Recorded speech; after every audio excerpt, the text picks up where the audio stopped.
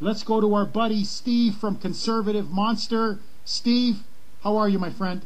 Jeff, welcome back, buddy. You know, I, I wanted to tell you, uh, you know, we need a special prosecutor to investigate the media silence and blackout and the de- uh, defrauding of the public of this issue.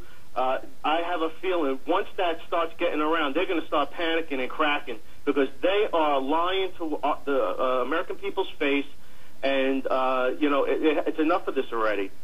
Steve, you're completely right. They have been lying to us every step of the way. And it's not just on the birth certificate issue. And look, Steve, I want to be very clear here. Look, I'm a journalist. I can't, in good conscience, I don't know. That's the whole point. I can't say whether the birth certificate is legitimate or illegitimate. I don't know. I haven't seen it. That's my point. When they call all of you out there birthers, don't accept it. Because what they're trying to say is you're like Holocaust deniers. You're like flat earthers. Like you're wild conspiracy theorists. No, you're constitutionalists. Well, Jeff, having making forcing uh, these people to start testifying under oath will change all that. Once you start uh, screaming special prosecutor, they're going to scatter like the rats that they are. Oh. You're going to see. Oh no, you're, Steve, you're completely right.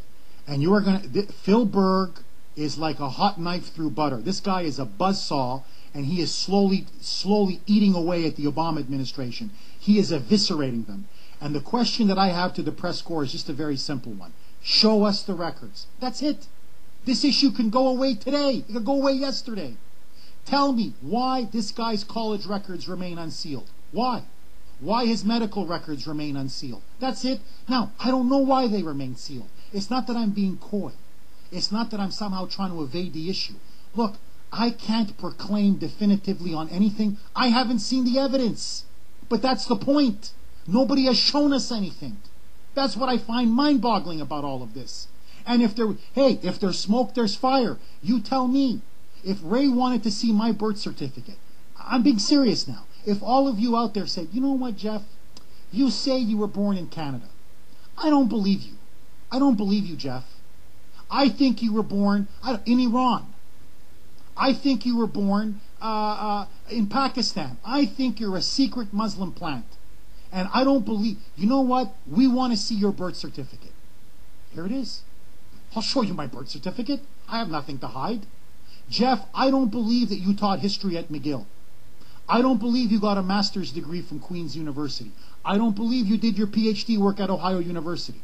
I'll show you my college records. I got nothing to hide. You want to see my master's thesis? You want to see the essays that I wrote? I got nothing to hide. So that's the point. We should know what our president did when he was in college. We should know what he advocated. We should know his entire background. My God, we should at least know his medical records. His health is very important to us deciding who he is. There is a book that has just come out now on Franklin Roosevelt. And it shows what a massive cover up he, the administration, and the entire Washington media engaged in about his poor health. This man not only had polio, he was crippled. He was in a wheelchair. It looks like he was battling cancer.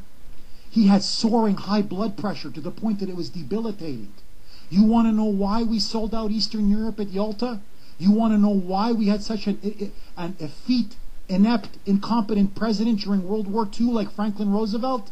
He was in poor health. The man didn't have the health to be in the Oval Office. That's why you have to have medical records unsealed. That's the price that you pay. And so my question to the mainstream press is a simple one. Stop covering up for him. What are you hiding? What are you afraid of?